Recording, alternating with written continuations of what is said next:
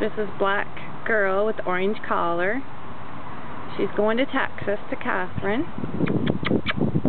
And unfortunately, it's just gotten colder and colder out here, so she's not going to do a lot of walking around. hey, uh, you know, she says, I want to go back in. You're a pretty girl. It's a big black girl. Yeah, we still got to take your sister. Come on. Woo. no. You're pretty, puppy. Yes, you are.